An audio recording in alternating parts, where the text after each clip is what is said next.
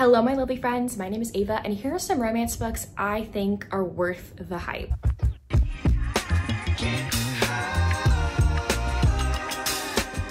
So I went online, I went on Goodreads, Amazon, like a bunch of other different lists, and I picked out some popular romance books that I have read that I think are worth the hype, that are worth the number of ratings that they have and the fantastic ratings that they have. I don't really have an order to this. I just have a stack of them.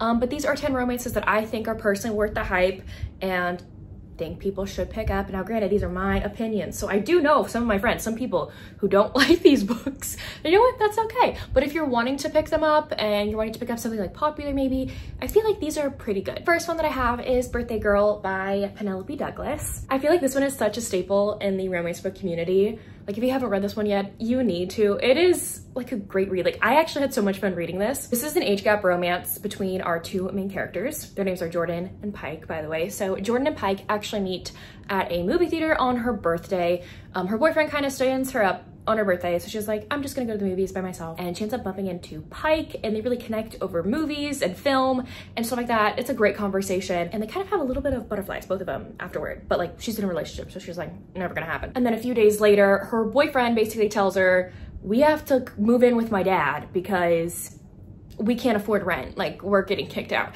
And so the only place they have to live is his dad's house. When she shows up to her boyfriend's dad's house, it's none other than she met at the movie theater. So this is a romance between Jordan and Pike, so her boyfriend's dad. But don't worry, like if you're worried about cheating and stuff, the boyfriend is scum. Okay, I don't mind cheating if the significant other you're cheating on is scum of the earth, which he is. So it's fine. I didn't read this one for the longest time because it was so hyped, but I'm really glad that I did. It's a really good book. I really loved both of these characters. Jordan is very mature for her age and Pike is so stinking hot. Like through the page, you can literally picture him and make he makes you melt. Okay, next I have Archer's Voice by Mia Sheridan. This is one of my favorite like romance books that really got me into the romance genre. This is the romance between Bree and Archer. Bree ends up moving to a small town and bumping into the town recluse Archer in the parking lot of a grocery store. He's bearded, he doesn't speak a word to her, and he's kind of gruff and grumpy when they bump into each other. But that meeting has her kind of intrigued about him and the townsfolk kind of whisper about him and are wondering why she even wants to get to know him. Like they think he's weird. But then one day she's, I think, walking her dog, I want to say, and the dog runs off and she goes to follow and the dog shows up in Archer's backyard. Things kind of start from there. Archer is not able to speak. He was injured in a car accident and his vocal cords were severed. He's not able to speak. So he communicates through sign language, but no one he knows communicates via sign language, but our heroine's dad is deaf, so she actually does know signs, so they're able to communicate. And Archer is so in shock that there's someone he is able to communicate with. He feels like relief. He's like, there's finally someone I can communicate with. And that kind of sparks their romance. Archer has a little bit of a more naive and innocent side to him because he is a recluse and he keeps to himself in his house basically. So he doesn't know a lot about the world or about other people. But I did love Bree like showing him the world and everything like that. So this is a great, like good, sweet contemporary romance. One of my favorites of all time is Get Life Chloe Brown. This whole series could be on this list. This series is very hyped, but this one like holds something in my heart. I love it. I know it's not everyone's favorite. Everyone loves book number two. I love book number two as well. Don't get me wrong. Like all the books in the series got five stars, but this one, as you can see by all the tabbies, it like means so much to me. This was like, I think the first book that I read with chronic illness representation. And I remember just like sobbing my eyes out because I haven't, I hadn't before this point related to a book more in my life. Let's get to the summary though. So this one is about Chloe and Redford. So Chloe, at the beginning of this book, almost gets hit by a car and her life kind of flashes before her eyes and she thinks about everything she has not done with her life. She still lives at home with her parents. She lives a very sheltered life, scared of the world. But after that experience, she's like, okay, I need to get a life list. I need to get a life let's make a list, kind of like a bucket list of all the things I need to do. Like one is like ride on the back of a motorcycle, get my own place, like a bunch of things, okay? So she ends up moving out of her parents' house and into an apartment and she meets the superintendent of the building, Redford, and they don't really get off on the right foot. It's very much like bickering animosity to lovers. Long story short, the two decide to help each other out despite their differences. Redford makes um, art, like he's an artist, he paints and sells his artwork online, but it's not really like doing well. Chloe is actually a web designer, like she creates websites. And so she's gonna help him create a better website for selling his artwork if he will help her complete her get a life list. And obviously through that, they fall for each other, okay? I will say this book has like one of like top 10 most memorable hmm, scenes in my head. And um, that's cause it's in public. So I think about those scenes all the time. But I love this one. The chronic illness representation is also fantastic. Uh, Chloe has fibromyalgia, which is a sister condition to my own. And so like, I just remember one of these scenes where she's sitting in her shower chair, just like breaking down. And I'm like, you have no idea how many times I've been there sitting in a shower chair, in a shower, breaking down. So I, I love her. I love Talia for writing her. A book that was on a lot of popular lists is this little historical. This is The Duchess Deal by Tessa Dare. This is the first book in her Girl Meets Duke series. This one is hyped for a reason. Okay, if you have not read historical romances yet and you want to, you have to start with this book. This one is by Ash and Emma.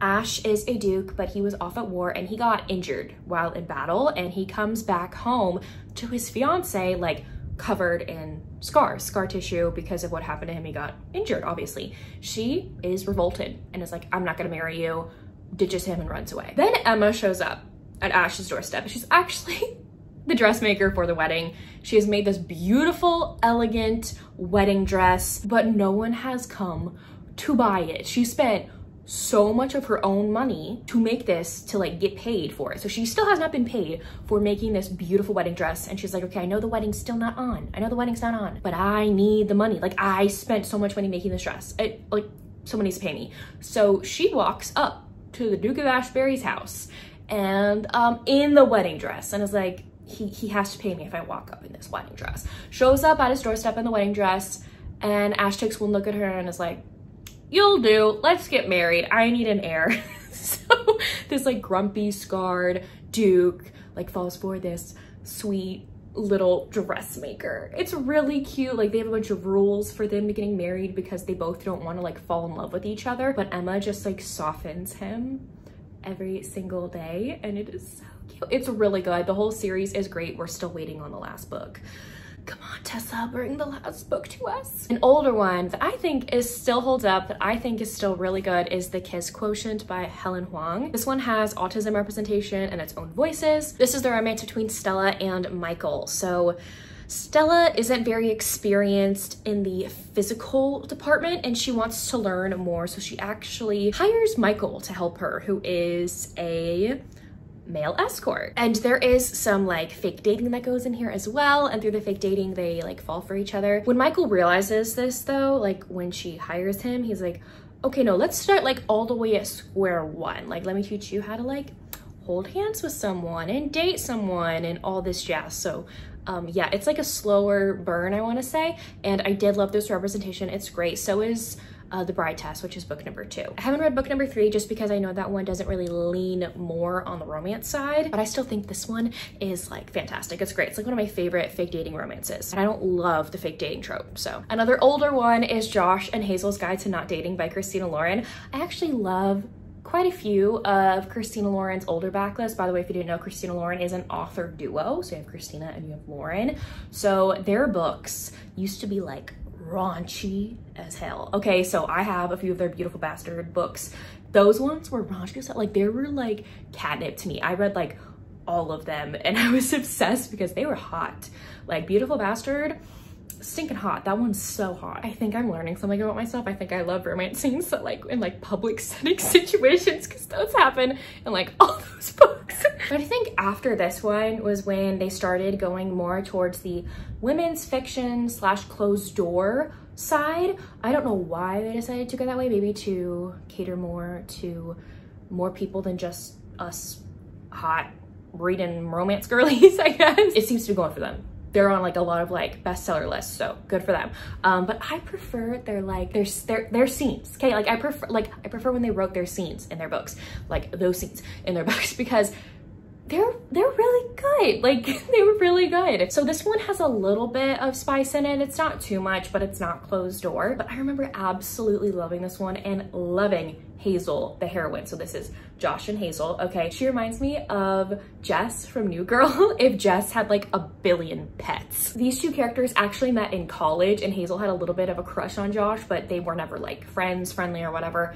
But they bump into each other years later and um, they become like actual friends and they decide to help each other find their person they set each other up on dates. However, they have realized at the end of every date, they don't find each other like hanging out with their dates. They end up finding themselves hanging out with each other, like watching a movie or getting drinks or something like that. Like not going on a date, but like hanging out with each other at least. They like realized like, oh, like we're spending more time together than the people we're supposed to be getting to know. Anyway, it's a great friends to lovers book. I love it a lot. It's like one of my favorite like older friends to lovers books. I have to mention Heartless by Elsie Silver. Okay, I feel like this one is worth the hype. I know some of my friends actually don't like this book, granted okay? Everyone has their own like reading taste and stuff like that. I personally love this because it ticked like all my boxes. I love a single dad nanny like forbidden romance with forced proximity. Like tick tick tick tick tick all my boxes. This is the romance between Cade and willa. They actually end up meeting at a coffee shop at the beginning of this book. Willa is standing in line in front of Cade and her purse spills and out fall her panties okay her underwear. It was a clean pair at least but um Cade like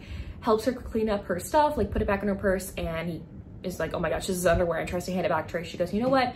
Finders keepers. So Willa is kind of like a free soul, flies by the seat of her pants. Cade actually was really interested in Willa at that moment, but then a few hours later, guess who shows up for his like nanny interview for his young son, but Willa. And he's like, oh my gosh, I cannot be attracted to the nanny. He's like a gruff, grumpy cowboy ranger dude. It's actually so fun. I love both of these characters. They're really good. I obviously have to talk about Ice Planet Barbarians. I feel like it is hyped up and I think it's worth it. Okay, I know a lot of people are like, blue aliens, that's so weird. Yeah, I thought that too. Okay, a lot of people thought that too. A lot of people thought that before they picked this up. And you were proven right but also wrong because it is weird. It is weird okay? But it's also really good and really addictive. I know people who like weren't really interested in these read book number one and marathoned all 22 books. So just saying they're so fun. Women from earth humans from Earth end up getting kidnapped by evil aliens. Their spaceship crash lands on this ice planet and there are only a few human women survivors and Georgie is kind of like the leader of the group and she goes off into the snow to go find water or food or something because these women are dying. There is a big blue alien dude with a tail and horns who saves her life and she wakes up to him eating something. Okay? So there's fated mates involved and it's just a great start to a great series. I have so much fun with these. Like they, y'all know, y'all know. I love me a Ruby book and these books I reread all the all the time. They're such comfort reads. Next I have Brutal Prince by Sophie Lark. This is the first book in her Brutal Birthright series. Sophie Lark has really gotten popular these past few years. I think the hype is totally worth it with her books. I really love them. They're great books that you can read to get into mafia romance for sure. This is the first book in one of her mafia romance series and it is the arranged marriage romance between Ada and Callum. They're from rivaling mafia families. There's an age gap there. They're forced to get married and they don't like each other. But uh, one of the most iconic scenes that I remember is she finds out that he's allergic to strawberries. And so she eats a bunch of strawberries before the wedding. And so when they kiss, he goes into like anaphylactic shock on the wedding day. Like that's the kind of enemies to lovers. Like this is an enemies to lovers book. You know, you have hate to love. This one's enemies to lovers. They are enemies. So I feel like this one is worth the hype. These were so addictive for sure. I do need to read the spinoff. I haven't read the spinoff yet, but these ones addictive. And the last one that I have is Funny Feelings by Tarah DeWitt. This one is so cute. Don't get me wrong, cute but hot, okay? Cute but hot, it has its hot moments. Farley and Meyer are our two main characters. There's a little bit of an age gap. There's an age gap between the two. Meyer is a single dad and he used to be a comedian, but when he became a father, like his priorities shifted. And now he coaches Farley, who is a female comedian, and they're best friends. They do everything together and she loves his kid so much. But then there becomes a situation where they have to fake date each other and the rest goes from there. But I think this one is worth the hype. I love me a single dad romance. So I really enjoy this one. Anyways, there you have it. Those are some romances that I think are worth the hype. Let me know down below if you've read any of these books or if you plan to. But if you don't feel like commenting any of those things, you can leave me a microphone emoji in the comment section down below because Funny Feelings has a microphone on it. So anyways, thank you all so, so much for watching. I will see y'all soon in my next one. Bye y'all.